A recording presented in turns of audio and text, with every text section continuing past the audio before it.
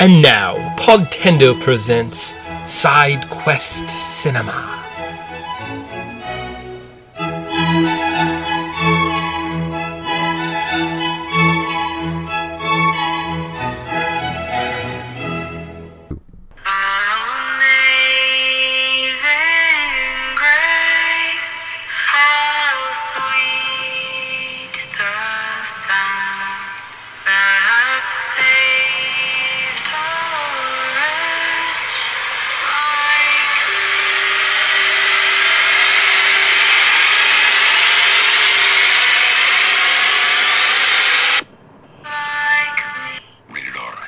Hey guys, welcome back to Podtendo's Side Quest Cinema, where we talk about movies for some reason on a video game podcast. We're looking at all the X Men movies this year, and we're at Logan.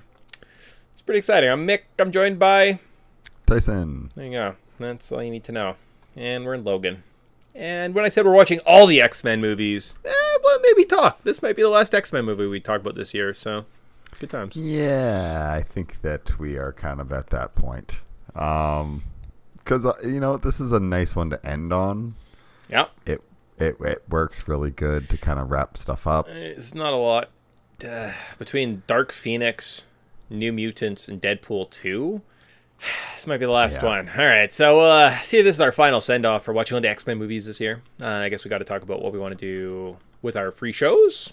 So go from there. But uh, yeah, uh, with that, so this is a, a fast introduction to Logan. Was released February seventeenth, two thousand seventeen. Runtime was 137 minutes. The budget was a 97 to 127 million dollars. The box office saw six. Uh, six hundred nineteen point two million dollars. Uh, the director was James Mangold. The cast included Hugh Jackman, Patrick Stewart, Richard E. Grant, Boyd Holbrook, Stephen Merchant, and Dafne Keen. Woo! Yeah. Um, kind of a smaller cast. Yep. This is a little bit more of a kind of like more self-contained, more. Um, I, I, I yeah. We'll we'll get we'll get into it. It's yeah yeah very very interesting. Okay. Uh, yeah, no, uh, it's pretty solid. So, development details of this fun movie. There was lots of rumors that Jackman's contract was up and he was done with the franchise, but he would often state that he had been on a movie-to-movie contract since X2. So, not really confirming he was into the films, more of like, eh, I haven't really been committed since the second one, so don't worry about it. Singer failed to meet expectations after X Men Apocalypse, so the studio decided to give the director role to James Mangold. Shortly after that announcement, Jackman signed on for the project. Interesting. Uh, Jackman and Mangold worked on several ideas and spent a lot of time developing where they wanted to take this Wolverine film. They took inspiration from the Old Man Logan comics. Patrick Stewart was excited to work with Jackman on the smaller project. He was excited that they got to finish the father son relationship that the two characters had been developing in the previous films. Liev Schreiber's Sabretooth was almost included in this film, but was removed last minute. The film included some vintage X Men comic books used to both advance the plot and as a meta uh, fiction reference. The director uh, clarified that the Marvel Comics allowed this on the condition that they used uh, that they could use actual characters and designs, but not use any real comic book issues. As a result, the comic book covers and pages seen in the film were made specifically for it. Principal photography for Logan took place in New Orleans. That's it. Interesting. Yeah, you. I would have not guessed New Orleans on this one. Must be cheaper to film there or something. Some I don't know something or has or a super di- diverse area because I mean it looked not like like they're go- they're going to North Dakota. I figured that they were kind of near North Dakota. Yeah, I don't know where what like I don't know if that that was just maybe set design. Maybe they worked a lot on sets. I don't know. That there that was like the first sentence in the filming section, and then there was like 17 paragraphs afterwards, and I was like, ah, we'll just use this sentence and move on with my life. So Yeah, I'm sure yeah. Tyson won't like draw attention to it in the podcast and make me look like a real asshole or anything. Well, no, you didn't have to drop the veil. Um, because honestly, it's like, yeah, it's it's cool that James Mangold actually got this one. Um, I was just looking at New New Orleans. Um, yeah, and I was surprised that the because I kind of want to look up what the comics were and try to like piece that together, but I never got around to it. So knowing that they were just fake comics makes me like, ah, I'm glad I didn't waste hours of my life trying to piece piece through this meal. At that. I did nothing and I was rewarded for it. Good job, society. Yeah, Woo. All right, cool. So with that, uh, yeah, that was like the big thing. I was like, oh, I didn't know that because I would have done the same thing. I was like, oh, hopefully Tyson talks about those comics. So I'm glad at least I found the note that kind of was like, oh, they're fake. That kind of makes sense because it seems very specific. I was like, or someone really loved the X Men comics that made this to be able to find a panel that has coordinates written down on it. yeah, yeah. That is like, I'm sorry. How how many of these have you read? Oh my gosh, like yeah, like you would have had to have paid a team of people. It's very similar to I remember there was a um uh, like a, an anecdote from one of the the Futurama DVDs when Zapp Brannigan he makes some comments. He's like watching a cartoon and he goes, "Ha! He jumped right out of his pants." When they wrote that in, they just assumed that every old cartoon involved someone jumping out of their pants. Apparently, that never happens in anything. So, some guy spent like two weeks of his life just watching old cartoons, looking for that scene of where uh, someone jumps out of their pants. Oh my god! And they were like only only until afterwards they were like, oh, that doesn't happen. No, ever. Like, someone throw- lost- That was a throwaway line. It was supposed to be like two and a half weeks of some intern just sat there and watched classic cartoons, waiting to see if someone jumped out of their pants. You know what? That getting paid, or if they're Yeah. an intern, they probably aren't getting paid. Yeah. Just to sit there and be like, well, gonna have to sit down and watch two weeks worth of cartoons. Oh, That should have been like that should have been like, hey, you got an hour, find this scene, and then like two and a half weeks later, like I just found it. Oh my gosh. Yeah. So yeah, imagine that same thing with these X Men comic books. Uh, find one that has some coordinates on it. We'll just use that. And they're like, good luck. I guess I'm reading every X Men comic ever. Great, awesome, cool. Uh, all right. So with that, uh, we get into our.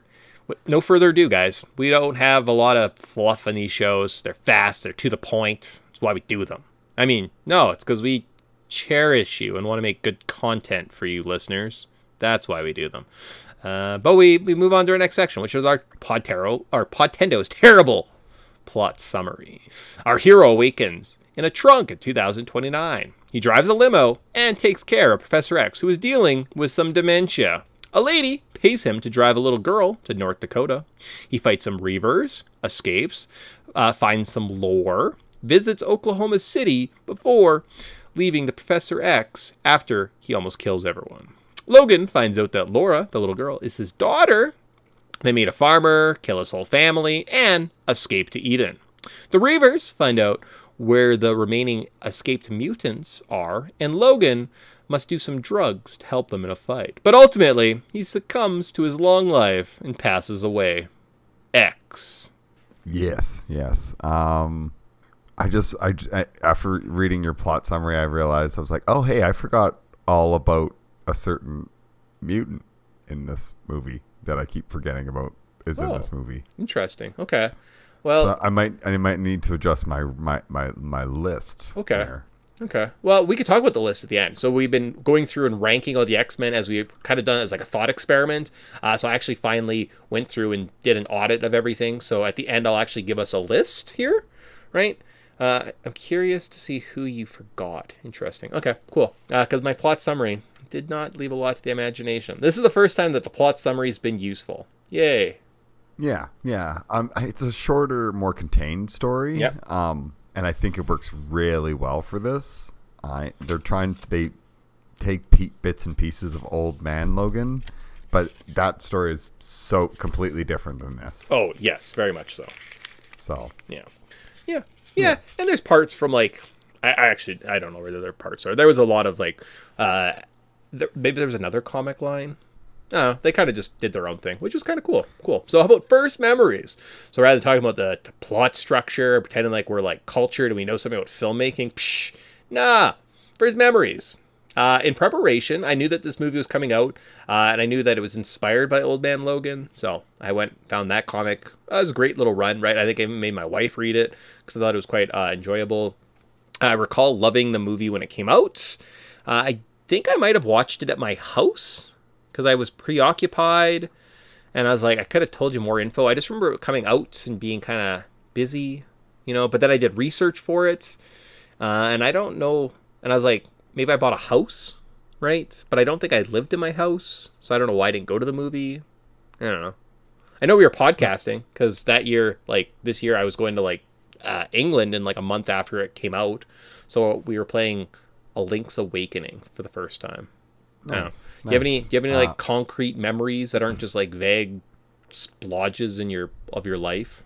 No, no. I, I kind of remember this being a thing, but I don't remember like it really coming out. Like I said, there's like even chunks of this movie where I was like, wow, I didn't even remember this whole part. Like I kept, yeah. So Okay, cool. yeah, Sweet. Awesome. All right. So with that, not exactly sure. Versus some of those other movies. It's funny how like we're like, oh, we went and saw X Men three the first day in theaters. How disappointed were we? And this one comes out, we're like, Meh.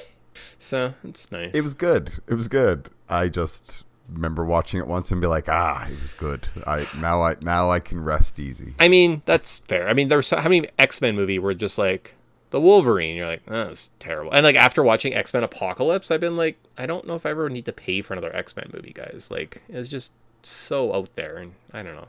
See, and it's funny that you had that reaction to Apocalypse, and that was my reaction to Deadpool.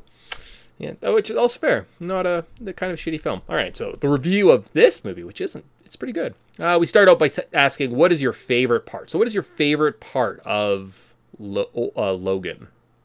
Uh, I have to give it to Hugh Jackman. Okay. Um, he does a really good job in this movie. You can tell that he's like, there's some scenes where I was just like looking, it's like, man, this poor guy, like, fit the physical demands of this role that he's had to like endure for the last like 12 years. It's like to do like three hour long workouts, always eat your six meals a day, blah, blah, blah, blah, blah. Like, always like maintain a really decent body shape and get back in there and make another movie. And it's like, my goodness, like, he does a heck of a job in this. Um, but it's kind of cheaty. Second favorite part is like Professor X. Man, Okay. he's like like his his uh portrayal like really makes you feel for him and gives you like a very scary like oh no like what if the Yeah. like uh, the most world's most powerful psychic does have dementia it's like Yeah. jesus and it sets up this whole like ticking clock kind of thing and i think it pays it off in an interesting way Okay, cool. Uh, so on the note of Hugh Jackman, I'm not going to comment just yet. I'll leave that for a second for a reason that'll become obvious in a little bit. Uh, but yeah, in terms of Patrick Stewart, uh, it does create a really interesting, yeah, dynamic, right? Of of aging, right? Because our bodies are finite, right? We break down, we die as humans, right? Uh, just natural causes, we just can't live forever, right? Like we're not meant to live forever and, and these fantastical powers that we give our heroes that we grow up thinking about and you know what happens when they get old and they start to break down right do they become more harmful right uh, it's a very we've never seen mutants before we don't know how they get old so uh, it is a really cool concept right and having him being kind of this yeah like like you said a ticking clock right uh, of being kind of his own worst enemy later on in his life as he kind of gets old and starts to lose it uh, it's fascinating. Really, really, really cool high concept for this film, right? So uh, I, I agree. Uh, Patrick Stewart did a did a, did a good job, and that whole part of the story is kind of like it's sad, right? Knowing that this is where it ends, but it's kind of bittersweet. It's a cool way of telling a story, right? Uh, for myself, uh, I loved Laura X twenty three, right? Uh, she's a pretty good child actor. Uh, she portrays a lot without speaking. She speaks Spanish. She only like in the last 20 minutes of the film do you find out she speaks English, right? So lots of it is silent. It's done kind of through gestures. Uh, her fight scenes are really solid, right? Uh, I love any time that she flies over top of Jackman uh, and she like her Karana somebody, uh, and she's just so violent, right? Like she's such a violent, violent character. Uh, she has this longing and fascination to be with Logan. Uh, it's just adorable, right? Like anytime Logan's on screen freaking out. She just goes back and she's just like watching and she's trying to understand where she came from, you know, who who's she supposed to be. Um normally in these stories, right, there's a little girl or the sidekick or the, the cub of wolf and cub, right? So the older character with the young uh, person, and they're going somewhere. That that's very, very, very common trope, uh, and they're helpless, right? There is some trial somewhere along the way where they have to rise up and save the hero, or like you know the wolf, I guess in this allegory, uh, and that's them aiding them on their journey, right? But she is never shown to be incapable, right? She doesn't basically know where North, Dakota is or how maps are because she grew up in a lab. But other than that, she's basically the strongest character in the movie, right? She's way more capable than Wolverine in any fight. She is never really in any struggles, right? Even when she's chained and locked up, like it, it- she's fighting for everything she's got to get out of those shackles. And you're like, if she does, she's fucking everybody up. Like no one is in her way. Uh, it's kind of throws the trope on its head, right? Like recently we see like the Grogu's from Mandalorian or Ellie from The Last of Us, and they like they have that little arc where they have to step up and like save them. And you're like, oh wow, they grew a little bit. But this character, like X23, she's just kind of the best version of them. And it's what if she was stronger than the wolf, right? Like, what if the cub was actually the hero um, uh, of, of the story, as it were, right? And she was the warrior. Uh, It's it's a very very interesting take on it, and I was fascinated the whole time, and like was never bored, never rolled my eyes. I thought they handled that incredibly well, uh, and this character could have been done really really bad, and they didn't do it. They did an amazing job, and just even her her kind of like Wolverine traits, right? Like she's got the temper. She's you know little little hot to, hot to trot at times. It's done very very well. Uh, I, th- I was just uh, blown away with with that whole performance, right? And it's it's kind of understated. So I thought I'd give that a little bit of time as my favorite part of this movie. Absolutely. No, very well said. Um, yeah, and there's like one part where she's stabbing somebody, and like, I think there's like a minute and a half of her just violently stabbing Oh, her inter- somebody. her and you're just introduction. like, her introduction. She's like eating cornflakes, and this guard comes up behind her, and the next scene is she just walks out and she rolls his head towards his, head, friends, yeah. and she's like, "Do you really want to come at me?" And you're like, "Holy fuck!" Like, because even at that point, like Logan, like Wolverine doesn't know what to do, and he sees that, and he's like, "What? Like, what is this monster? Like, who is this little girl?" Right? Like, I thought it's done incredibly well. So, Definitely, definitely. And I think that like that like a lot of those scenes are very memorable and I like it handles the gore right. Mm-hmm. It's not like in your face about it. It's kind of just like no, they probably would just cut people's heads off. It's the most efficient way of killing somebody Yep. for them. They got claws in their hands. Takes two swipes or one swipe. And um yeah, very very cool. And like kind of just like a very badass entrance to be like just dr- drop somebody's head, Mm-hmm. just stare. Oh, I, I was like, oh yeah, I forgot. She's kind of badass, right? Like, uh, it's it's yeah, it's a good film. It, it's when there's good films, there's lots to talk about. It's fun. Uh, most notable scene or part of this movie. So this section is. What do you remember? You know, it's been years. Maybe only ever saw it once, right? Like myself, I think I only ever saw this movie once and then moved on. What was the part that I was like, oh, that was kind of a cool scene? So could it be Wolverine driving the limo? You know, Dementia Professor X, the Reavers, uh, Laura cutting the guy's head off, like her introduction, uh, the fight at the smelting plants, the Oklahoma City hotel scene, Professor X is uh, kind of mind blasting everyone, self driving trucks, uh, the TV reports slash radio reports that let us kind of know what happened to the X Men, the X Men comics, the farm part, Professor X dying, evil Wolverine, finding the other kids, or maybe it was Logan's last stand. So, of those, what is the most notable or memorable, most notable part of this movie? Um, I think kind of hit it on the head with all of them. Um, it's the world building that this builds. Okay. It's this like bleak existence where there really is only two more two X Men. There's Professor X and Wolverine. Everybody else is apparently here is, has died in a similar event to what happened to all those people in Oklahoma when Professor X seized out. So it kind of sets the stage of like, oh, he had a brain meltdown at some point, and everyone around him at them, all the mutants, basically just died at that school. Yeah. and there's like the government's working a way of just like controlling the mutant gene or like suppressing it so only they can really have access to it. So the, there's no mutants that have been born in 25 years. Wolverine's dying of his own toxicity. So it's like we're seeing the end like the end end of these characters stories and i guess like the the most notable thing for me is like because I sometimes didn't remember like how certain people died or what happened. I just remembered that they that they died, and I was like, they're just kind of like sets this like bleak existence, and it the movie doesn't really end on a high hopeful note. It kind of just ends as like no, and uh, they, that this is when their story ends because they're dead.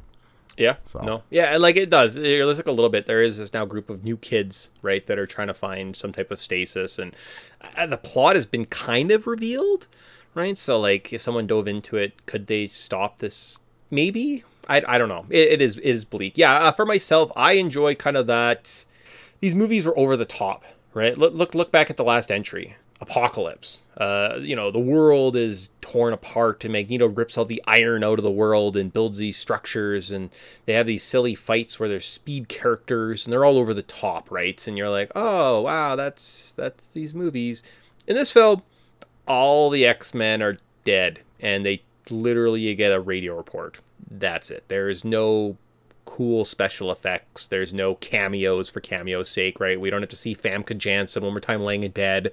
It's just a very clean, concise, dark way of telling this kind of tragic story, uh, and I think that's one of the stronger parts of it. And in my mind, that is. Uh, like I was excited to get back to that part because I was like, I must have missed something. Like you know, there's got to be more to what happened, uh, and it's that longing, that mystery that they set up. They they don't really give you a- an adequate payoff, which makes it better. By the way, when someone Yeah. when someone kind of re- holds back part of the story, you're like, oh shit, what's going on? And when the conclusion is like super satisfying, they're like, oh, the man, the what do they call it, the Manchester event or something like that. Uh, you're like, Something like that. you're yeah. like, oh shit, like what did happen? And you see just glimpses of it, and you think, oh, that's what happened to everyone, right? And then Professor X kind of like clues in, and he's like, I did something really bad, didn't I? Right? And he's like crying, and you're like, oh my, like, man, that's heavy, so heavy, and there's just no payoff and relief, and it just has to, you just have to sit with it, right? And just kind of think about it. Like, it, it's hard to think about, and what a fitting way to maybe end these X Men movies on our shows, right? Like, with that Yep. right? We love Yeah. these characters. We ranked them. We talked about how cool their powers were, how cute they were, how you know like poor takes they were, and now we're stuck here with all of our enemy, with all of our heroes just dead, right? And they didn't die Yep. hero death. They just our powers got taken, carried away, right? And Right, it's like, well, what happens when these superpowered people age? Yeah, and it's just like such a cool part, and it, it that's the part that had stayed with me for all this time, right? And I, maybe that's part of the reason I didn't go back to this film because I knew it was heavy, right? And I knew the ending was dark, and maybe tear, it was going to get a little dusty in the room, and I was like kind of almost afraid of that. But going back to it, it's just so well done and it's so satisfying, and it's uh, it, it's such a brilliant way of telling the story and ending, and not with not with a bang, right? But literally with a whimper. And that's just it's incredible. So yeah, I agree. That is also probably that's my most notable scene. Yeah, yeah. No, and or like and Logan's last stand, um, Yeah. where he he dies, and it's like, oh, this is what, and I think his like favorite final line is like, this is what it feels like, Mm-hmm. and it's like because he's been waiting for death, and like kind of like had a moment like thinking back, and you're like, yeah, this this story it is about like these people had hard lives. Mm-hmm. Oh yeah. like Professor X sacrificed and tried to always do the right thing, but it was a an, an undiscernible brain aneurysm or brain problem, mm-hmm. and him just being the most powerful psychic killed all his friends, and like is set and the story sets up this huge ticking clock where you expect Professor X to be what's gonna need to be stopped, yeah. But it's just like he just goes out with a some like snips in, in his in his chest and all of a sudden he's gone. That's the end of his story and he just like he sits there dying. Yeah. and, and logan has to just deal with that and he's the last last one and he's dying because he's toxic from the adamantium. And it's like so when he finally takes his last breath and says that like oh finally this is what, it feels, like, what it feels like. And it's just like this poor man his his his gift is you can never die Well, and so you Yeah. like when you face down somebody with a gun you're a human who just heals really quickly run them down well, and think of And how much like- of his life is like. Think of it, like per- burying Professor X. That isn't the first Professor X that he's had to bury in his life, right? Like he's done it. Like how many countless mentors, friends, father figures has he had to turn away when you have such a long life, right? Like it is kind of the the pain of a long life is you lose a lot, right? Yeah. Um, and you have to come to terms with all those deaths, right? Like he says to Laura at some point, he's like, "I've killed a lot of people," and she says, "Well, I've killed them too, but they were bad people." And he says, "You still have to live with that, right? Good or bad, it's you've still taken life, and it, uh, it'll catch up with you, right?" So he tries to bestow her with kind of like words of wisdom, right? Like, don't be me, be better. Yeah, don't be the monster that they're prote- the weapon that they're making you be. Like Yeah. Mm-hmm. you don't have to have that life. And he did. Like that was his life. Like his his whole existence was get shot. Like he was in every major war. Mm-hmm. Like run run in there, get shot, heal, get shot, heal. That's that's your life every day. And I guess the kind of the implication is he was there when the whole Mm-hmm. thing happened and he seized out. The only reason he didn't die and everybody else did die is because he heals. So Well- he had to literally go through that massive pain that everybody else died. Everybody else died, and then have to bury your friends. You're the one and have to be like, well, now I need to seclude Professor X. Mm-hmm. We need to put him on meds, and I'm the one that's going to be there around him whenever he does have these Well, psychotic. that's the thing, and he escapes. And the plan is he was trying to buy a boat. He's going to take the professor out onto the sea so that he can't be. He doesn't have to be around people. So when he has seizures, he doesn't kill everyone, right? And that's he's him and Professor X are going to live on a boat until they die, right? Yeah. That that's kind of his plan is to just get away, be away from people, right? And uh, it, it's it's tough, but it's dark, and uh, it's one of those like, why don't I watch this amazing movie more frequently? It's hard to watch. Yep. Yeah. It hits you. Yeah. it's like Now, you- here's the next hard part for us. We got to be negative about this film. We got to do what is our least favorite part of the movie. So, uh, a couple episodes again, I gave Tyson, uh, you know, told him his job was to say something nice about Deadpool. Couldn't do it. Can Tyson say something negative or least favorite uh, about Logan? So, Tyson, what is your least favorite part? um the villains. Okay. they're kind of little underdeveloped. They're a little underwhelming. The professor that is like responsible, something Declan Rice or or something Rice, um, is like kind of a meh. Like he's like I I, I like the Zander Rice, Doctor Zander Rice. He's the guy that he's the doctor that's uh, cloning mutants and stuff. Um, and then Donald Pierce, I guess, is like the henchman guy. And I kind of like, like I like sort of the idea of the Reavers, where they're just a bunch of mil- militia guys. Where like, let's say they come across Wolverine and he cuts off an arm. What do you do? You get a metal one attached. Yeah, perfect. And you just stay and play. They're like, you just keep going, Well, keep they're- doing these things. They're from the comics too, right? Like, uh, yes, yeah. yes. So I was like, Um, oh yeah, okay, cool, I guess. like that's cool and i'm like kind of like i kind of like them as henchmen and i kind of like as the movie progressed handled them really well where you started kind of taking them like not only these guys hunting mutants but they're now like you can tell every one of them is cybernetic probably because a mutant's blown off a limb at some point so they're all like fuck mutants. So they're, there's even like you can tell that they're just not nice.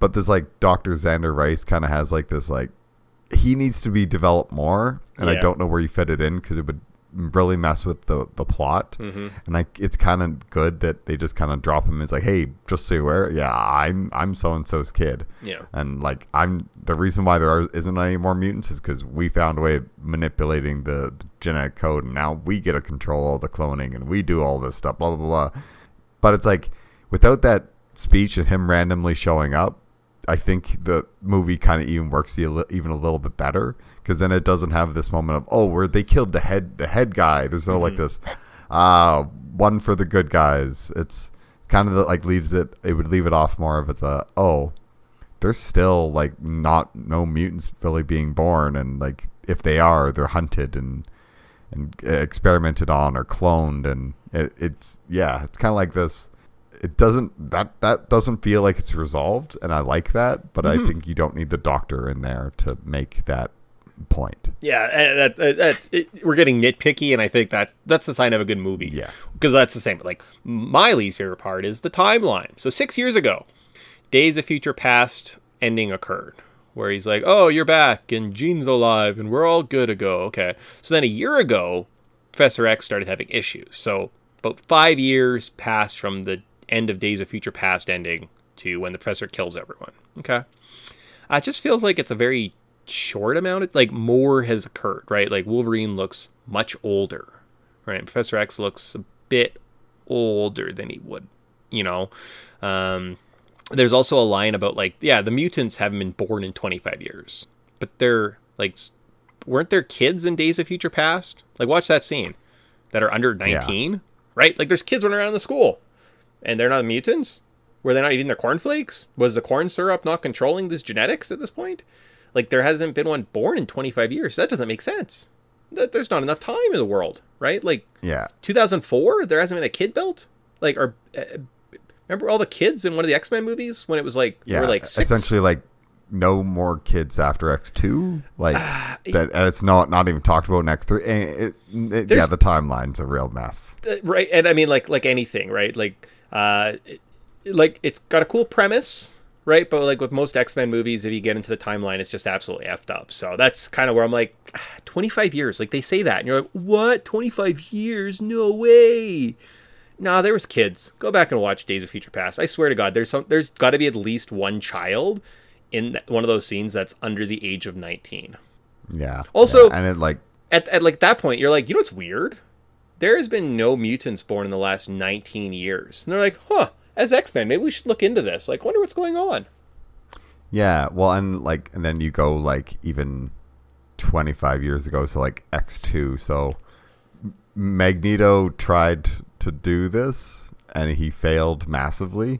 But apparently, the humans, like two years later, are apparently just masters of and have wiped out the, the like mutant markers Yeah. and or genetics. You're like, uh, doesn't quite line up. But if you kind of just ignore the timeline, It's fine. It works. Yeah, it's cool. It It it's a cool premise, Yeah. right? And you're like, ah, but maybe that movie didn't exist. Oh yeah, I forgot. We could just delete movies from the timeline. Cool, awesome. Uh, but a criticism. Let's have a final negative point, uh, and go. So, what's your final criticism of Logan?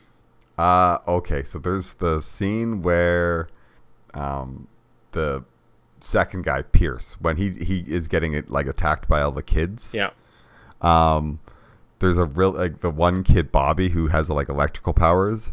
He has like this little like puts his little finger out into this one little measly like electric shock thing, and then it cuts to him. Like it's it's weird. Like there's these, just these two cuts. Like it cuts to him and he does the little like electric shock, but it's not like a big effect. Okay. And then it shows him on the ground and just like this little like trickle of sparks kind of go across him. And I'm just like, you, you did not need that. Like I get they're like kind of like, oh, we need to show these kids using these powers, and you're like, no, no, no, no, please do not do that because it makes it look like that kid's power is static electricity. And maybe that is his power, like maybe he's static or whatever. But at the same time, like, Oh, yeah. no, uh, you can get Okay. shh, you cut that. yeah, that's fair. Uh, like, I mean, criticism at this point. Again, we're being nitpicky. We have to be nitpicky. Oh, yeah. uh, Evil Logan. I, Yes. Oh, is definitely supposed to be Liev Schreiber. Like when I read that Liev Schreiber's Sabretooth was in this movie up until the last minute, I was like, oh, he definitely was supposed to be Evil Logan or Albert or 24, whatever you want to call him, right? Like they look basically identical. He looks like Liev Schreiber from X Men Origins Wolverine. Clearly, Jackman Yes. was like, you know what? I could. He's like, I could get jacked up again, and then just not have to put up like the aged makeup, and I could kick some ass. So I kind of feel like he was just like, eh, you know what? Don't call Liev Schreiber. I'll just, I'll just, just, just uh, here. I'll go hit the gym for a little bit and put some muscle back on, and like I'm doing it anyways. I'm already bulking. I'm already like, I've already, you know, I had my like shirt shirtless. I'm like an old man scene, so I'm already huge. Let's uh, let's keep rocking and rolling. And also, like, it's kind of sad when Professor X, like, right before he dies, and he's having this, like, heart to heart with Logan, where he's, like, trying to be like, hey, I understand I did something wrong. And then it's evil Logan, and he just dies. And you're like, it would have been nice to see Logan have that final moment with Professor X, right? Yeah, Yeah. yeah. Um, and I think that that's like, and they kind of left on an argument Yeah. of Logan being like, we need to keep moving, and Professor X just being so tired, and Uh-huh. he's exhausted too, and he's like, this is the best night I've had in a long time, Uh huh. and then he dies. Yeah, and it's it's like kind of that bittersweet, and like I like that. I, I really like that from the narrative point of view, but I'm like, it's unfortunate, and kind of wish it that was better for the character, right? Obviously, uh, but then when I was yeah going through the notes and then watched the movie, I was like, oh yeah, no, they definitely like they already had the character design up, and he's like, I just put Liev Schreiber's makeup on me, no one will notice. So Oh yeah, I want you, probably, like- Jackman. it's like but we even like we even got his fitted jacket, his fitted suit from that other movie. Like we've recreated it. It's fine. I'll fit into it. Oh, It's like, but the, we have like even cut his haircut semi the same, and you're like, Yep. this is literally Liev Schreiber. Mm-hmm. sounds like how, no. That would have also been like we made a clone of Sabretooth, and you're like, but he looks different from X, the other X Men. So does that mean X Men Origins Wolverine is canon? Yeah, They did and the dodge. first. Yeah, they dodged some bullets. Okay, good.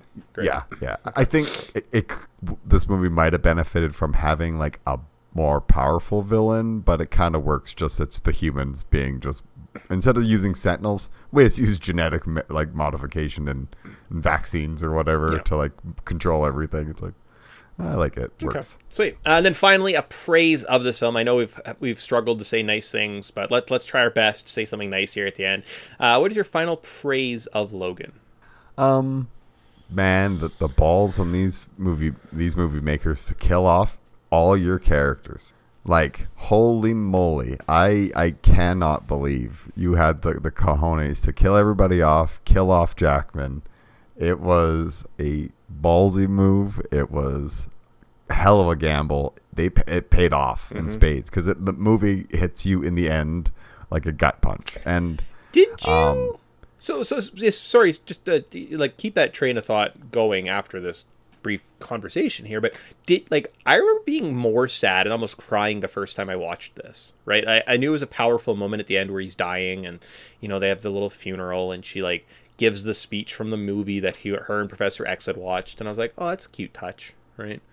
Um, but it didn't hit this time. Like I was expecting to be sitting crying on the couch last night, and I was like, "Uh, yeah, I guess he died. That's fine." So, like, did did you get the emotional pay- payoff from this? I did. Okay. But I also was um, kind of reflecting on this movie as I was kind of like just like watching it, and to know that like all the X Men are dead, Professor X died, and they set up this whole ticking clock like he's gonna be the ticking clock, and they don't go that way. Like he just gets stabbed and he dies, and you're like, that's probably the best death for him because let's face it, if he has another mind attack, he could potentially wipe out a, a hemisphere. Like he's that powerful. Um, and I I kind of thought it was kind of like you know these these characters have suffered their entire life. Like when Jackman has his final line of like um, fi- that's what what it feels like. It's it, it like that. It's like that was a very good choice. It wasn't like over the top. It wasn't this big emotional blah, and then the next person cries. It's kind of like this, this this quiet like last breath of our character, and we get to be with them for it. And I think it's interesting because these characters, their entire lives were we're gonna try to fight the good fight for a better future, and the world we're left with is there's no more mutants, basically. Um, if they are, they're hunted. It's or they're clones. The humans haven't really like they've fucked. We as as humans, we are the villains. We've done all the bad things again. And this poor guy, whose whose quote unquote gift and power is to heal, is the thing that is only keeping him going so long. And because of us humans, he's now dying, mm-hmm. and he has been poisoned by us. Like, and it's just all these little things where it's just like we're the bad guys. Uh, these mutants are all fucked. This is not a good world to be in. Like, it seems like everybody's kind of miserable. Everybody's kind of suffering. Um, and I think that it's it's it's we get we get left with this like, damn, like fuck. Did, did any of it actually matter? Yeah, So when he tells her it- when he when he tells her it's like don't don't be a weapon. Just just Mm-hmm. don't do what like they want to do. Just go. And she has to just be like, please don't die, Dad. yeah, It's like it kind of almost makes you wish that like religion was real and like Jesus showed up after this and he's like, "Hey guys, did you like all those like sweet mutant like people that we like me and God, my father sent you people so we could like your lives would be better so you can like fly and have like really strong people to do all like heavy lifting? Like are you guys like chilling with them? Because like we made them for you to like make your lives easier. Where are they all? You're like uh no we never got them Yeah, yeah, and that No, it think- kind of has that feeling to it. Whereas it's like the the the hope and joy of this world is a bunch of people fleeing where they're in danger. Yeah. and it's like that's what we're left. Yeah. it's like Alright. Uh, for myself, well said.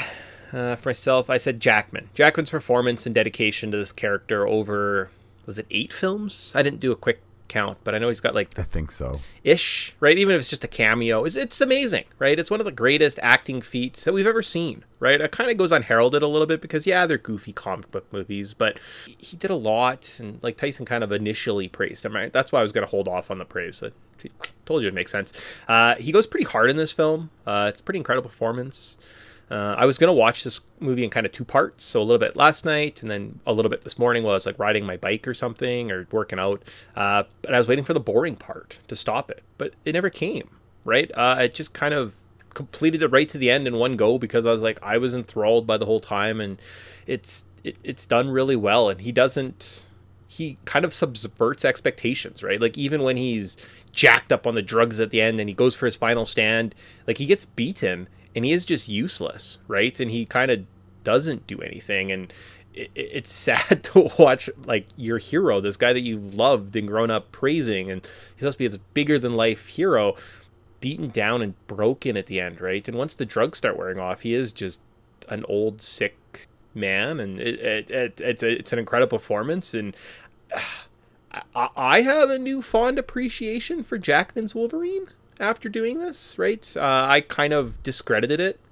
Uh, and I would have told you, I was like, yeah, I did them, but like, whatever. They were just paychecks. I think they were a bit more, right? And seeing just kind of the work that him and Mangold put into this final film to do that proper send off is incredible, right? And uh, my my only my final praise is just uh, the Hugh Jackman. You're such a treasure, and the fact that you went off on your own terms, and you definitely won't come back into the franchise as some joke just to make a paycheck in like six years is really incredible. You know, the fact that you didn't sell out this performance and put on yellow leotards because it, money is is good. So that's my final praise. Is Hugh Jackman went out the right way in, in Logan, and he's definitely not coming back into any other media to bastardize what he accomplished here. So good job.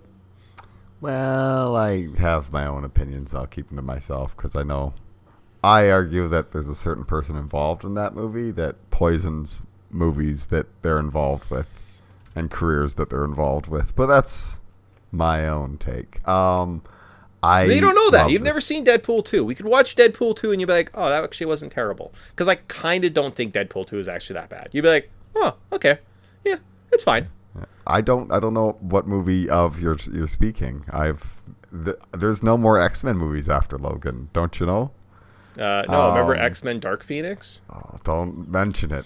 But anyways, I, I was gonna say. So apparently, the reason why he stepped away was because he was speaking to uh, Jerry Seinfeld, and it was like, why did you end like Seinfeld when he did? It's like because you never know when you're gonna lose interest, Yeah, yeah. or the fans are gonna lose interest. Uh, well, also, I don't like. So- I, I don't know exactly the timeline, but I bet you this is darn close to the uh, Marvel Fox merger too. Yes. right? So it was kind of it was probably a pretty good time to end this character to end these stories because they're like, ah, we might re- bring the X Men into the MCU at some point. Like we own them now, so I, I think it was something uh, it, like it, a perfect world, right? Contracts and like mergers and acquisitions of these big companies, uh, and it was just a very nice, clean spot to leave that X Men. And guess what? These X Men are gone. Guess what? The X Men are going to come back in some some extent, and yeah, you'll see them again. And if he shows up in a new X Men movie dressed as you know his yellow suit, you're like, oh, okay, cool, sure. But it's like a new guy, right? Yeah. And it's and you're like, ah, you need someone to like harbor him into the next one. So like, I'm not going to discredit anyone, right? So, it, it, but it, it's kind of a yeah, sure, good place to end. Yeah. And yeah. Solid movie. Good time. Mm-hmm. Um, definitely recommend it if you're a fan of the character. Oh yeah. Uh, actually, I was, I was saying that I watched it last night. My wife's like, ah. She's like, I was looking at a drive-in movie, and like they have double features in this drive-in down in one of our a little town in our area. And she's like, well, I didn't think you'd want to go, but the one you, there was was it was a double feature of X Men and Logan. And she's like, I really thought you would get you into that. And I was like, that'd be kind of fun. Like, would that be like X Men one, two, and then Logan? Would that give you like a complete? You're like, those are the best films.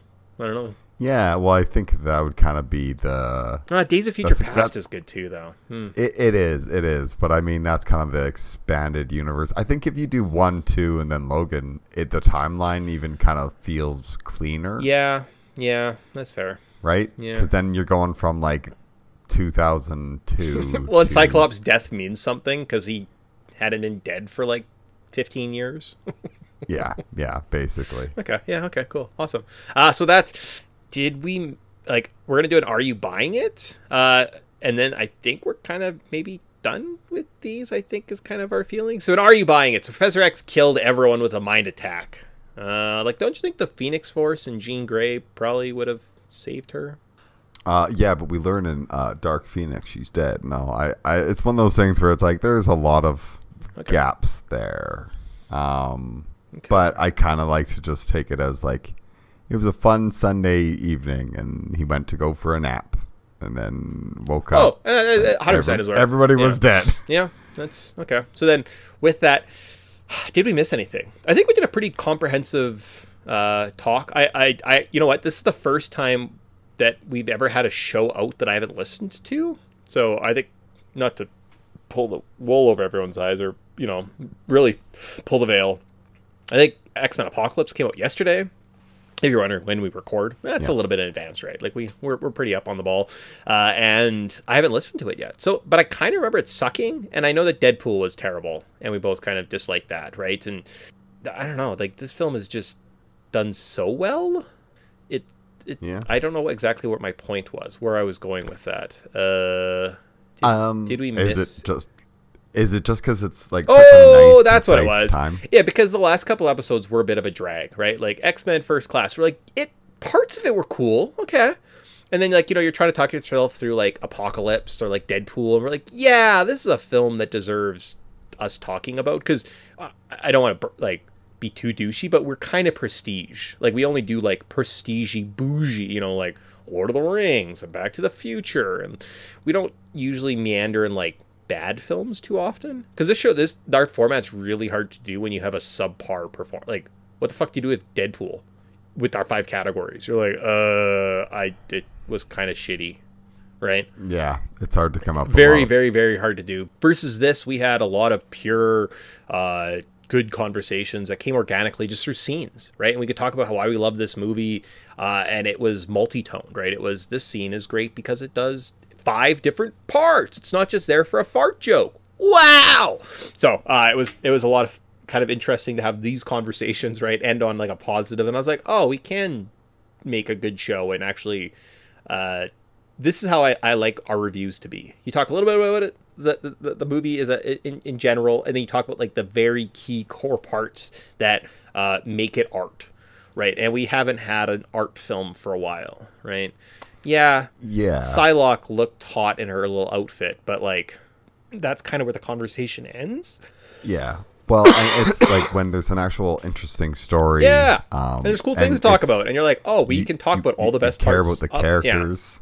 Like it, it, it makes it for an enjoyable ride. And honestly, like we last apocalypse, we were like I had too many mutants that I was trying to cram onto our top five list. Yeah. And this movie, I kind of had to fudge it to make the five list because yeah, there's more than five mutants in the movie, but are they key to the story? Not really. Mm-hmm. There's like three key mutants to the story, maybe a fourth, maybe a fifth, kind of a sixth, and that's about it. Yeah. And then you're kind of like, well, now I'm just grasping at straws, and I'm saying that that person who did that one thing, they're a mutant, so clearly they are 5th Uh-huh. Like, because it doesn't need it. Sometimes a good story can be told well and concisely, and this does a really good jo- good job. And I'm like, yeah, did there wasn't, wasn't a lot of fat. You could just chew through this movie, and before you know it, you're like, oh, hey, like Yeah. Well, we're clipping along really well. it, it- it's nice too to see when things people know how to end. Like Logan is obviously the natural point to end this this story, right? Yeah. Uh, Endgame was probably the way to end the MCU because you watched anything since Endgame, you're like, uh, this is terrible. Basically, anything after this, you're like, uh, it's kind of terrible. So, interesting to see how the X Men uh, get integrated with like X Men '97 coming out uh, still this year, I think. Maybe later this year, right? That'll be kind of fun to kind of uh, check check in, have a pulse. Uh, it's nice that I've had like my X Men fandom kind of revived by doing this, right? So uh, it's kind of it feels like a conclusion, guys. Thinking this might be a conclusion. I don't know. We'll have to look at our schedule and maybe figure out some alternatives now. But the other films are just aren't good. So let's end on let's end on such a high note. It was a good movie. It was great. Uh, we got a cult a Wayback Machine.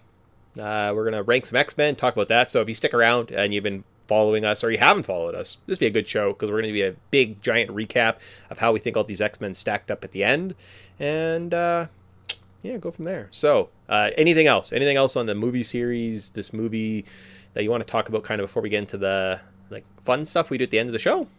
Um, I think I think I think we talked talked it off enough. It's uh, yeah.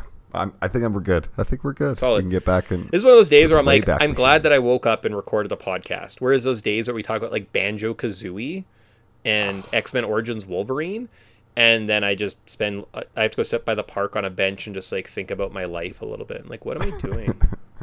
yeah, banjo was pretty terrible. like, what am I, what am I doing with my life? I talked about the Jungle Book for like 20 minutes. That's unnecessary. Why? What? What? What? What is wrong with you? So uh, today was very fulfilling. So thank you for that. All right. So with that. All right, bye X Men. Well, at least for now, we'll we'll be back. We can talk about you whenever.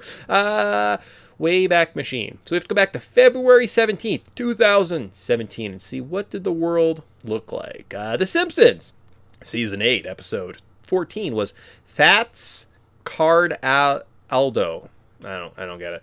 Uh, when the last fast food restaurant in Springfield becomes healthy, Homer is forced to turn to chili dogs for comfort. Meanwhile, Lisa tries to save the school radio station. That is actually the Wikipedia uh, summary, and not just me like quickly writing it down. So good job, Wikipedia. That's uh, Yeah. yeah, it's nice. tells me what tells me what happens in it, and I can probably skip it. Yeah. All right. Top TV shows uh, came out specifically uh, in 2017 were The Leftovers, The Good Place, Handmaid's Tale, Big Little Lies, and Twin Peak: The Return. Ooh, Twin Peaks, always good. Yeah. Yeah, it's not bad. I was like, oh yeah, Handmaid's Tale. Do you want to be depressed and just get feel like you get kicked in the nuts every like 30 minutes? Watch The Handmaid's Tale. It's nice. It's a good feeling. Uh, top movies. So this week actually was released against Kong Skull Island. So that's how little disrespect. So there other X Men movies, you know, like X Men Origins came out. Everyone's like, man, you can't go up against Hugh Jackman. Now they're like, no, this sucks. We're gonna release Kong Skull Island against it. I don't like this, mo- like the Kong and Godzilla movies. They aren't I good. find them. yeah. I find that they are hard to watch. Oh yeah.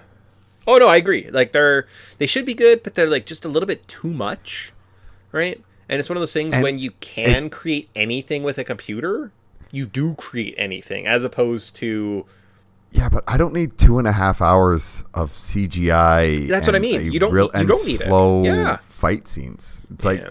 make these ninety minutes and make it like the story's kind of important. So if you don't be like, here's a high art, snooty, garbage take of a movie focused around kids or humans, and you're just like, eh, bad. So bad so we could have had one of those like cultural events like the Barbenheimer this weekend where everyone went and we could have called it like Logan's Skull Island or something. But you would have been like everyone walking out being like, Well, Logan was a good movie. Skull Island, I sad that I gave them money. That's probably what would have happened. So Yeah. yeah. Yeah. Oh, And did you hear about the next one that's coming out? Uh, this fall. Uh, Saw 10 is being released on the exact same day as the new Paw Patrol movie. So we could go have Saw Patrol. Nice. Yeah. Nice. Yeah. Uh, you know what? That would probably be a better mix than anything mixed with like uh like Logan's good, but Kong Skull Island. Oh man. Well, maybe there's something I'd in be here. We could uh, we could also watch still in theaters John Wick 2. Okay. That would be Okay, yep. that would be okay. That's that's a solid double feature. Uh, Fifty Shades Darker, if you want to get a little sexy, and Lego Batman. Oh no, Lego Batman and Logan's way better. That's the best.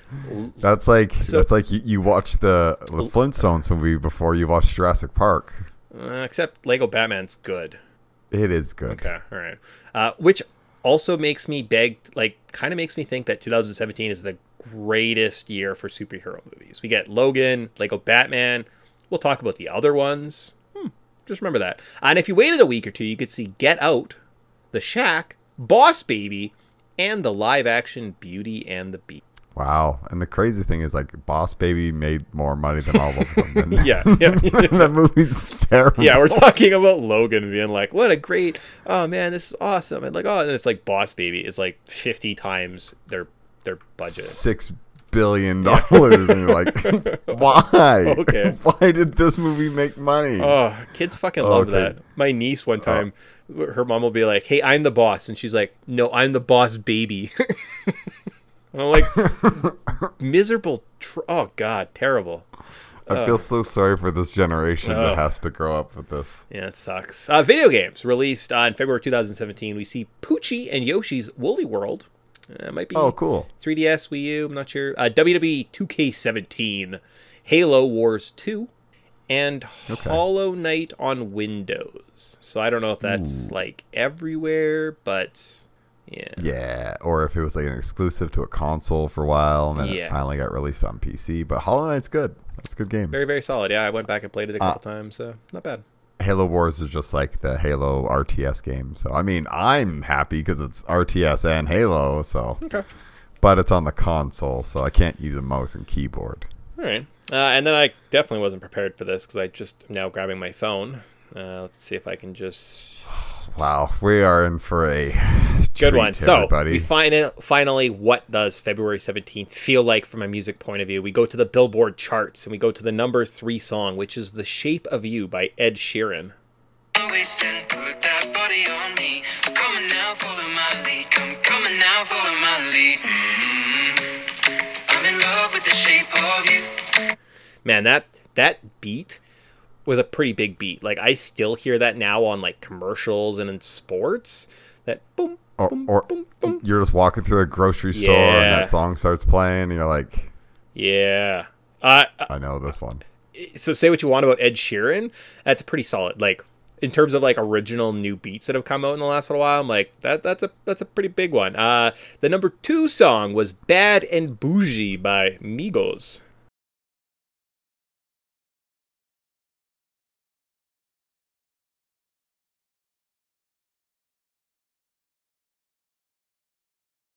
Because we were tired of Ed Sheeran for that one week, that one time.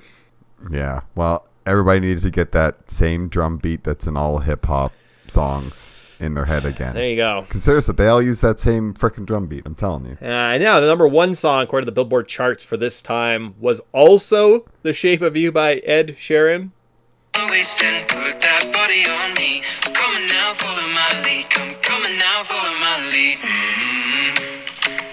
Love with the shape of you. Push and pull like a magnet. Uh, and then Tyson goes, "What the heck?" I think one other time in the history of doing this show, I, I say I go to the Billboard charts and I look at what's the most popular th- this date, and then I just work my way backwards. So the the second, the, the last popular song is number two, and then the song after that is number three because they don't really have up to date weekly you know billboard charts to go off of anymore uh, it's kind of a Yeah. current thing we just don't have that in the archives so this is the best way i can find around it uh, and occasionally you get the same song i don't know what other podcasts that happened to I know, but it has happened one one other yes time. so this is the second time that this like weird strange occurrence has happened kind of fun Yep. so it was good. I was like, this is perfect. I was like, I'm happy. We watched this great movie. My notes were all done. Like, guys, I sat down this morning, took my dog for a walk, and then just podcasted. The, the last like seven shows, I like get up and I like I'm like on the computer at 6 a.m. typing up the notes frantically because I haven't done anything and I have to go back and watch videos because I forget. Like I was so on the ball. It's solid. I'm having a good time. So and I got to play two Ed Sheeran songs back to back, and I don't think Tyson's a fan, so that also made me happy because I got to upset him. So, uh, what about other X Men properties? So we turn to the comics. Tyson, what kind of comics are going on when Logan came out? Okay, well, we're finally in modern times, so I can actually like look. Um, released the, the week of this movie, the February fifteenth. We actually have a reprinting of uh, Wolverine's X twenty three number one. Okay.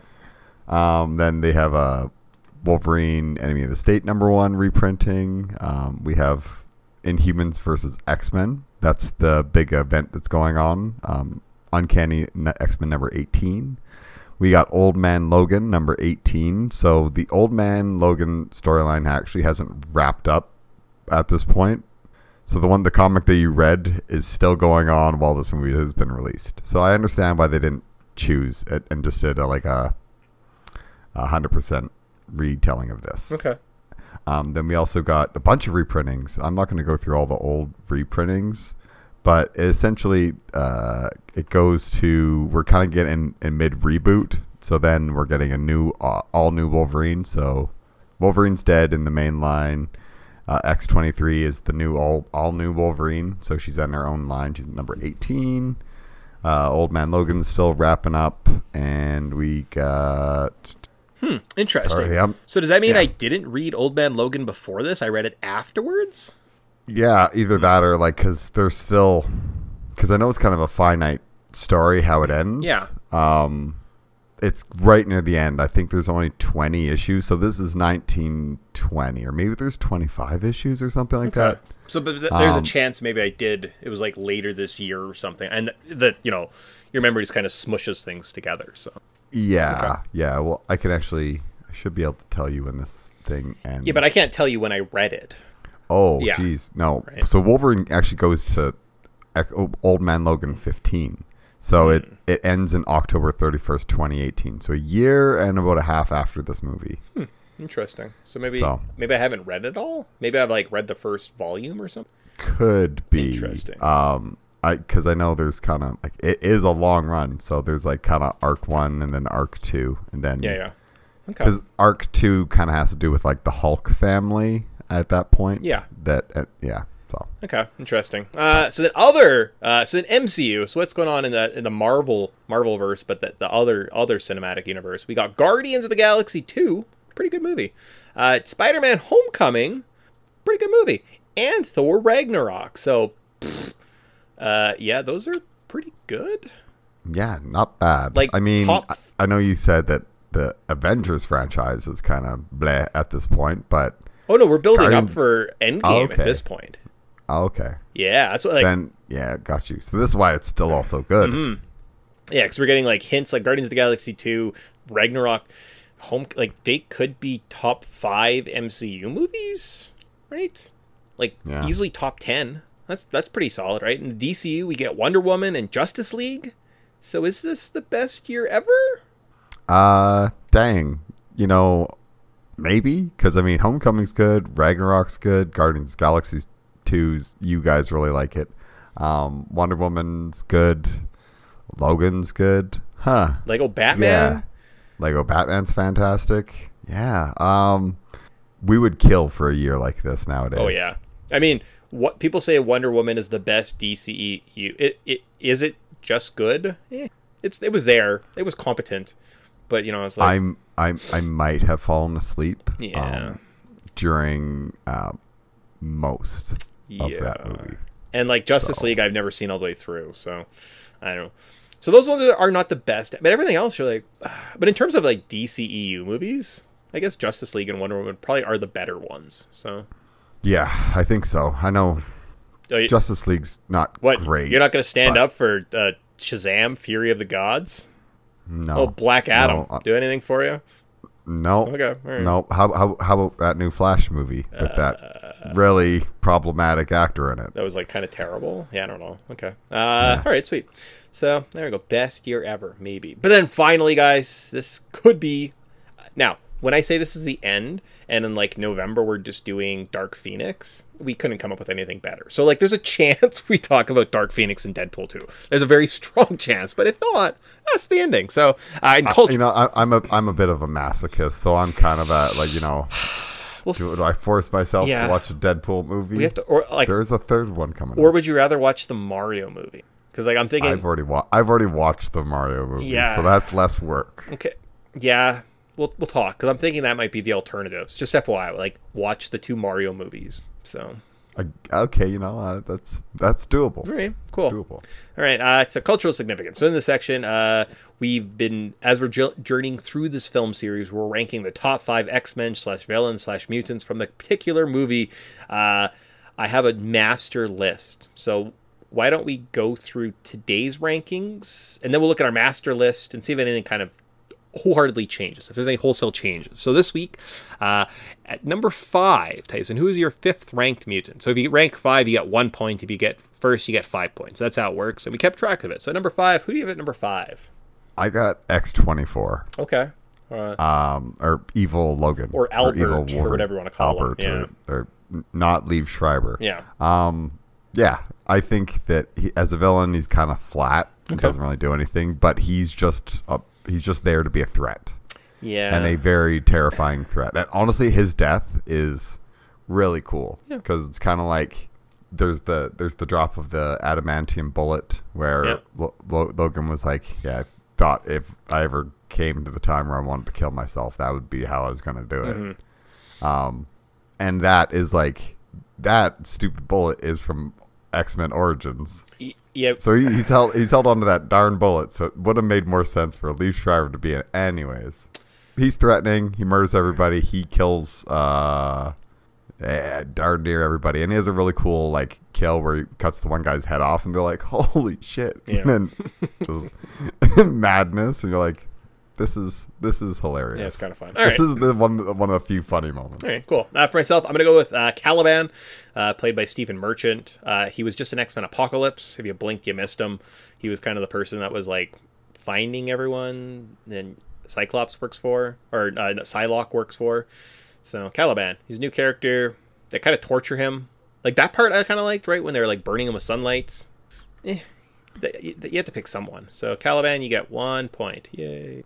Yeah. Okay. Yeah. Well, my number four is also Caliban. Yeah, it's Um, kind of limited on what we can pull from here. yeah. He is he's an interesting character. He's just like can um, track people, and- and there's supposed to be a thing where like he can influence people's fears. Okay. He is. Um, do you remember? And he's a Morlock, but he's the the Morlock that gets like supercharged and becomes like this big buff guy, and then he gets drained of all his powers and becomes like that little skinny shrimp. That's Caliban Oh, in the cartoons. Okay. in the cartoon. Yeah, Yeah, sure. Doesn't he also? Isn't he like one of the horsemen of apocalypse? Yes. Okay. Yeah, I think so. Okay. So he has a rich history.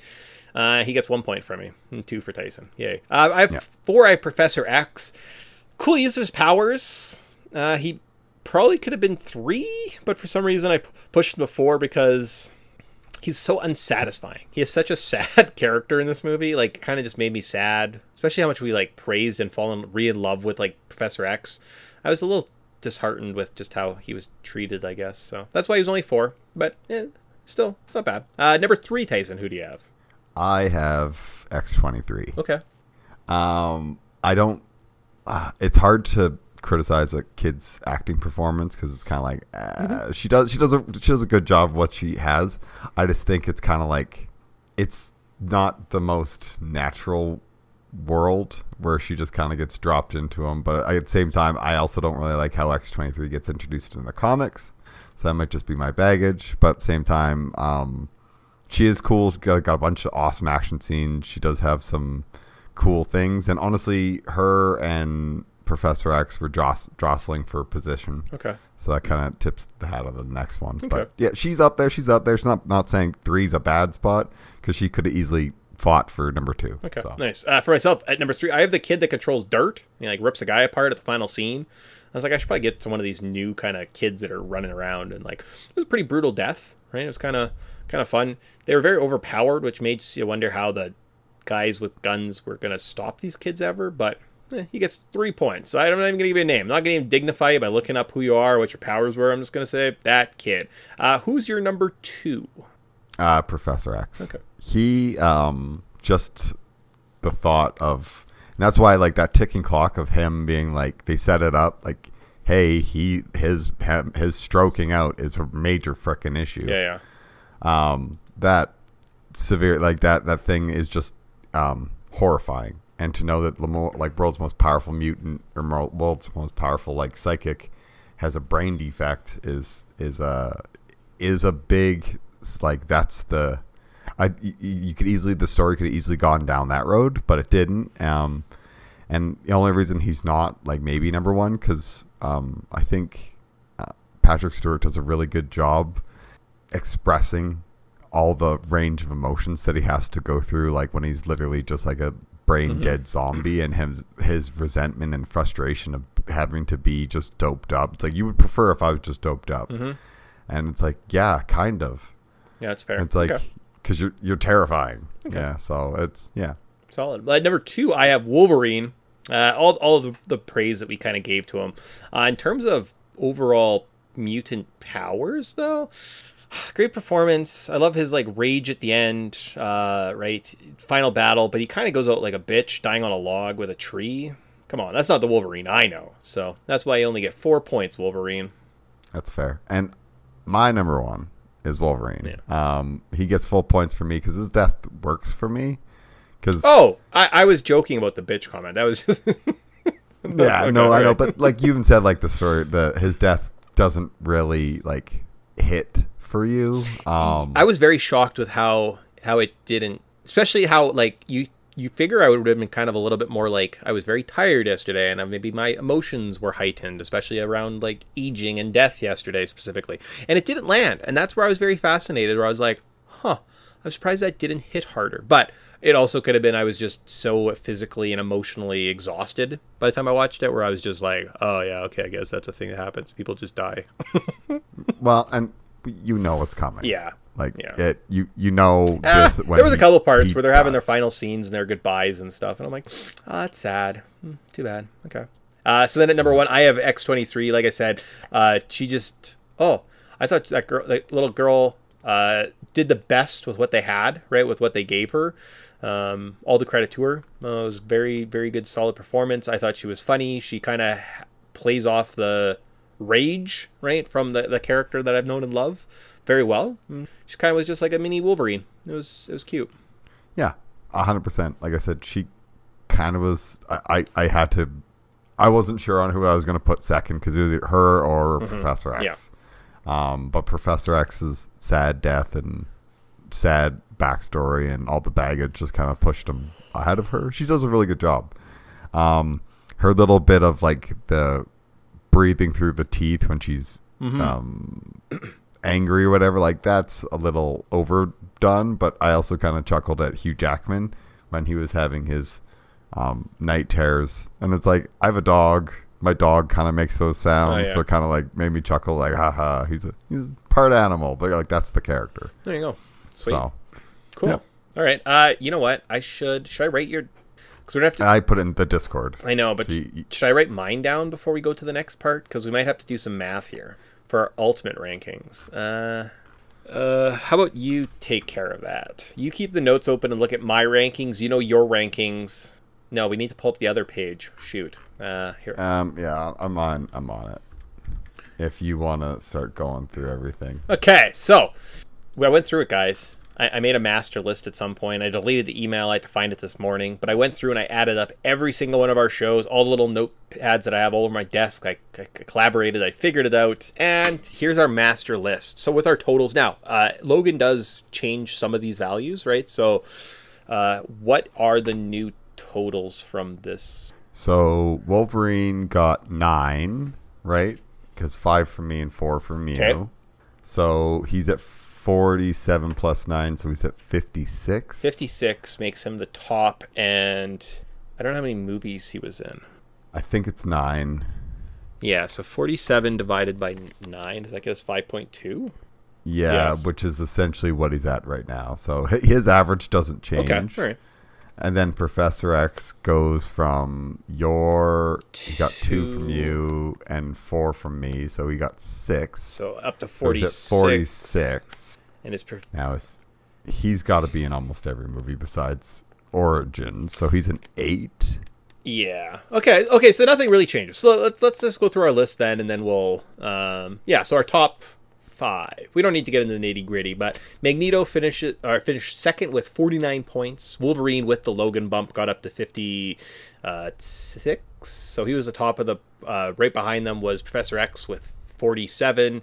Uh, then we drop all the way down, guys, from those forties and big numbers to Jean Grey at sixteen. I was like, okay. Yep. Uh, Beast and Quicksilver uh, both had 13 points. Sabretooth and Nightcrawler finished with 9 points total. Uh, and then we had a three way tie with 8 points with uh, Colossus, Deadpool, and Yuriko. Cyclops had 7. Uh, and then Sebastian Shaw and Negasonic Teenage Warhead both had 5. So anyone else on the list only ever got maybe one or two because they'd finish with like anywhere they had less than five points in every movie they were at. So good job, Yeah. everyone else. Yeah, and the only other person who kind of clips onto the list and ties with Colossus, Deadpool, and Yuriko is per, uh, X23. Yeah, yeah, she definitely went up there because I got gave her five, you gave her three, so then she had eight. So Yeah, she- she's got eight. Yeah. Okay. Cool. So then, if we go down to averages, which is a little bit more uh, indicative of probably where they're at, and now at some point after X three, I do believe I gave us five bonus points that we could kind of spread around. So in theory, after like first class, we probably should have had another five bonus points to spread around, and five bonus points to spread around, just in case there's any like I don't know. You're like, ah, I don't really like where that guy finished. Ah, let's bump that guy up a little bit. So there is an inflated five points somewhere in our l- rankings. Okay. Uh, if I was to do that, I would have just given them to who was that cute girl from Days of Future Past, Blink. I would have just given her all Yeah. my bonus points, so she would have been ranked higher. That's fair. Okay. That's fair. I think I might have given my Psylocke's fine. I'm looking at these averages. Let's go through the averages. Okay, so uh, so Cable right now is Infinity, so he has three points, but he actually hasn't appeared in any film that we watched. So what is Correct. three divided by zero? Infinity, perfect. Uh, so that the, the averages, Yuriko from the Wolverine is an eight. And X23 is an 8. So X23 and Yuriko turn out to be the greatest mutants in the X Men movie. Yeah, who would have figured Wolverine's kind of female counterpart? Yeah, sure. That makes sense. Okay. Uh, Magneto finished with a seven. So on a five point scale, we always gave him at least five points, if not more, right? So I guess technically it's more of like probably like a 10 point scale. So he finished with seven. Yeah. All right. Quicksilver right behind him at 6.5. Uh, makes sense. His couple performances were pretty big, right? His two entries of uh, First Class and Days of Future Past. He kind of became a bit of an all star in that one, actually, right? So, or sorry, X Men Apocalypse. Right. Yeah. Right. Okay. Uh, Professor X and Wolverine both have five point, or Professor X finished with five point seven. Wolverine five point five average. Why was he much so much lower? I think just because he was in everything. So he like Yeah. he lost. times where he Yeah. he didn't get he only got one point. Yeah, like X Men Because it was First like- Class, he just sits there. So he actually got he got nothing, right? So Yeah, Yeah. yeah, And there's yeah. So there's a couple times where like quick cameos killed some people's averages. uh, with a five, so about average. Uh, Shaw, uh, so Sebastian Shaw, Kevin Bacon from First Class, and Negasonic Teenage Warhead from Deadpool both have five. So nice. Uh, Sabretooth, Nightcrawler finished with a 4.5. Again, they got docked a little bit because, like, Sabretooth, he didn't do anything in the first X Men movie, buddy. Yeah, really killed him. Yeah. Uh, Deadpool, Psylocke, and Silver Fox all finished with a four. Jean Grey, uh, 2.6. Now, these are just like kind of like way down there. That's because Jean Grey, he kept showing up in beds talking to Logan. Quit it. Kills your average. Quit making quit making like two minute appearances. Oh, it's awful. Bad. Uh, Beast had a 2.25, so pretty good. Again, he didn't really do any. I, I don't think the Beast from the first class, uh, whatever that guy's name is, that Beast definitely brought down the Kelsey Grammer Beast. yeah, okay. yeah. We were giving Kelsey Grammer some points there when he showed up. Uh, Colossus and Emma, Emma Frost both ended up with two. Pyro had 1.5. Cyclops 1.4. Poor bastard. Iceman. Yeah, he One- he gets done dirty in a lot of movies. Yeah, 1.3. Blink, my girl, 1 point. Shadowcat, 0.66. Mystique, 0.5. And Storm, 0.2. Yeah, the character who's most underserved. um, Uh. and just from this movie, I guess Caliban would be have three points, so he would actually be ahead Uh, of 1.5, because he was in uh, Apocalypse. Oh, okay. Oh yeah, you're right. Yeah. So he's he's just ahead of Cyclops. So- and tied with Pyro. Yeah. So really nothing special. Yeah. So this movie added a little bit, so I didn't lose too much by not doing an updated list. Also, it's hard to do averages when I literally we just did them on the show. Like Yeah, minutes- you, you didn't even have my numbers until literally we just recorded Yeah, them so- a couple minutes ago. Sweet. So, So with that, uh, that's good stuff. Uh, if anyone's ever interested, I could post this somewhere. I'm not going to right now. No one cares. You guys, It's fine. it's fun. It's fun. Okay, so with that, that's it. That wraps it up. So we might be back again with some X Men movies later this year, or this is the final time we're doing this. I don't know. Yeah, we'll see. We'll see where the money's at. Just like just like Fox. Hey, if there's more oh. money, we'll we'll bring it back. I'm sure. Did I ever figure out what SideQuest Cinema? Oh, I did. 35. So this is SideQuest Cinema 36. Neat. Nice. Yeah. Nice. I was like, I should go back and Yeah. count them all at some point because I definitely lost track of the number system somewhere along the line, and we're back. Side quest Cinema 36. And that's the end of it. Yay. We did it. Okay, cool. So uh, with that, anything else? We're good. No, I think I say James Bond, and that's about it. Great, great. Okay, so that. Uh, bye, guys. When we're back, it's scary, spooky month. So hold on to your butts. Yep. Gonna be fun. Bye.